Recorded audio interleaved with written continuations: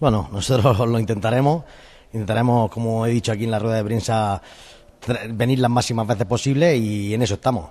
Pero bueno, también es devolverle un poco al ayuntamiento y a su alcalde lo que nos da nosotros, que la verdad que nosotros nos sentimos muy a gusto con la con el apoyo que nos dan desde aquí, desde el ayuntamiento. Una Copa Federación que a partir de noviembre en fase nacional, me imagino que ya con ganas, ¿no? De, esta competición que, vamos, os, tiene que dejar a lo mejor buenos recuerdos, ¿no? Bueno, eh, empezaremos ahora, creo que empieza en noviembre. Pues como siempre digo, intentaremos llegar lo más lejos posible y, y a luchar por ella. En cuanto al campeonato de liga, ahí en segunda posición siguiendo la estela de Yeclano también. Sí, bueno, eso, la liga no la podemos descuidar, que realmente es lo que para nosotros es importante.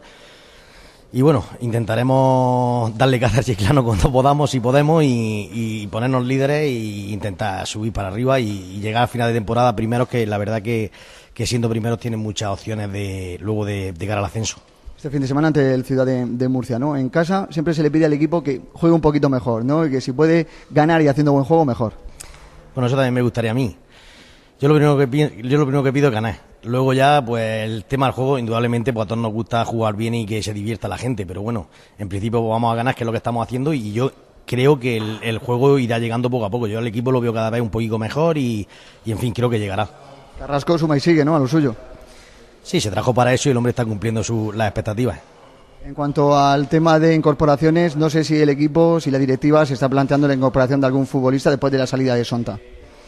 A ver, me consta que, la, que, que el equipo técnico, o sea, los, a ver, eh, los, técnicos de, están buscando futbolistas, sondando el mercado a ver lo que hay, pero a la Junta Directiva todavía no nos ha llegado nada. Vamos a ver, supongo que en unos días pues nos dirán los diferentes futbolistas que podemos que podemos traer y tomaremos una decisión. Suena Mansur, ¿qué me puedes decir?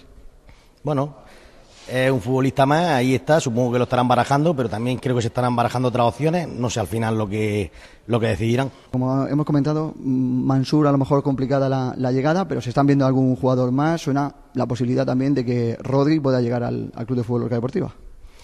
Bueno, no sé, como te he dicho antes, eh, los técnicos están viendo opciones y supongo que estarán hablando con Masú, estarán hablando con Rodri, pero a nosotros no nos ha llegado nada todavía. Cuando nos llegue, pues veremos las distintas opciones y barajaremos posibilidades y intentaremos acertar y no equivocarnos. Lo que sí está claro es que hay que reforzarse esa zona, ¿no? Bueno, yo tampoco entiendo mucho si hay que reforzarla o no, pero sí me consta de que Teba sí quiere que sí quiere tener las 22 fichas disponibles y, ocupadas, con lo cual quiere quiere fichar a alguien para, para subir la ficha de Sonta. Andrés García Tebas sí quiere, ¿no? Un refuerzo ahí en esa parcela del centro del campo, sobre todo de competitividad y de cara a esas dos competiciones que tenéis, Liga y Copa. Sí, él sí la quiere, él quiere contar con todas las fichas cubiertas, pero también es verdad que no tenemos prisa en el sentido de que de aquí al 31 de enero que, que acaba el plazo de fichaje tenemos tiempo de mirar bien y, para no para no equivocarnos. Hablando de liga también con el partido de la Deportiva Minera, total acuerdo en cambiar el orden de los partidos, ¿no? Sí, en principio nosotros jugaremos ahora tres partidos fuera de casa y luego en la segunda vuelta jugaremos tres dentro.